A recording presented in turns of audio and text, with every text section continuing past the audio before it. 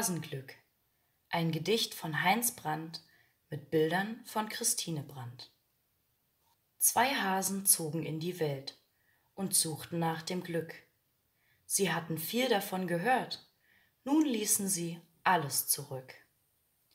Den Klee, die Möhren und den Kohl, sie wussten schon lang, wie das schmeckt, aber den Geschmack des Glücks hätten sie gern entdeckt. Drei Tage liefen sie geradeaus und dann ein Stück um die Ecke. Da kamen sie an ein kleines Haus, versteckt hinter einer Hecke. Erst staunten sie, wer darin saß, dann ließ der Schreck sie zittern, denn viele Hasen wohnten im Haus, aber alle hinter Gittern. Sie sahen sich an durchs Drahtgeflecht, die einen heraus, die andern hinein. Beide Seiten staunten nicht schlecht und riefen, wie kann das nur sein? Wie könnt ihr in diese Gefahren so leichtsinnig euch begeben? Der Jäger, der Fuchs, der Adler, der Luchs trachten euch nach dem Leben. Das riefen die Hasen aus den Ställen und baten die beiden Wandergesellen, bei ihnen zu bleiben ein Zimmer für zwei wäre zufällig gerade frei.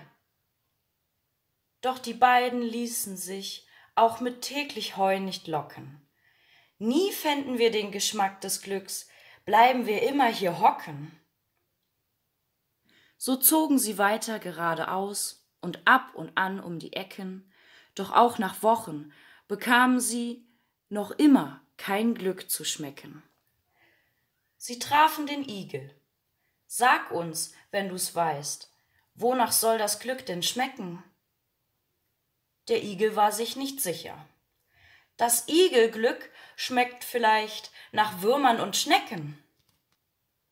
Da schüttelten sich die Hasen entsetzt. Sie zogen weiter und fragten die Elstern nach dem Geschmack des Glücks. Und die scheckigen Elstern, sie sagten, was ist das für eine seltsame Frage? Der Geschmack ist uns ganz und gar gleich.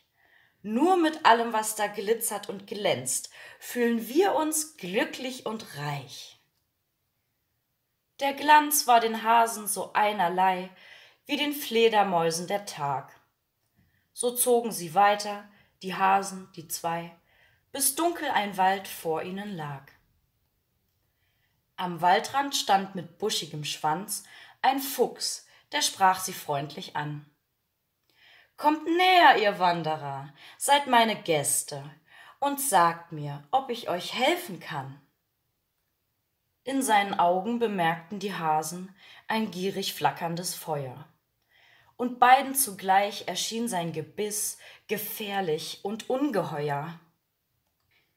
Da kehrten sie um und rannten so schnell, dass sie augenblicklich verschwanden. Fuchsglück schmeckt nach Hasenbraten. Das hatten sie grad noch verstanden. Und eines Tages kehrten sie ein bei einem Feld mit Rüben. Die waren so lecker, die waren so fein, die schmeckten so gut, dass sie blieben. Am Wiesenrhein machten sie ein Nest, gaben Acht auf alle Gefahren. Sie hatten sich lieb da dauert's nicht lang, bis auch Hasenkinder da waren. Sie lebten wie im Schlaraffenland, bekamen die Rüben nie satt. Wer weiß, sagte einmal der Hasenpapa, ob Glück solchen Wohlgeschmack hat?